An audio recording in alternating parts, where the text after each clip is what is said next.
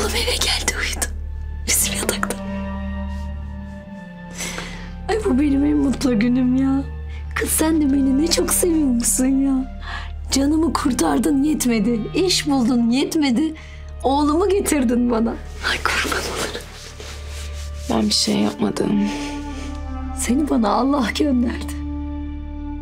E şimdi benim böyle hiç içim rahat etmiyor biliyorsun. Şu çocuğu yarın sabah bir okula yazdırayım ben olur mu? Sen de Gülümser Hanım'a söyle.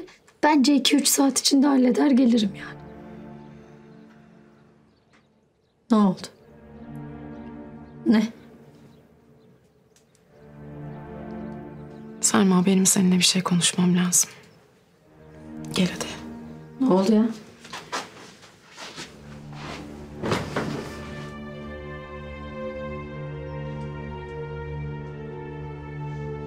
Gülümser Hanım. Ay bir şey oldu deme. Ay vallahi deme. Tam da zamanı.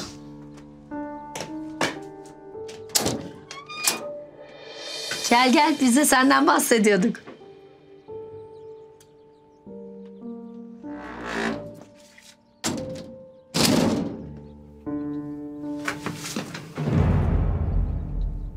Hiç olmazsa Selma'ya kendim anlatayım dedim. Ne anlatacaksınız? Yani şimdi senin şu kapıda azarladığın, kovduğun, kovaladığın savaş oğlun öyle mi?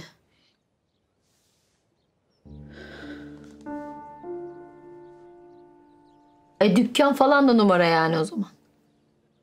Öyleymiş. Öyleymiş.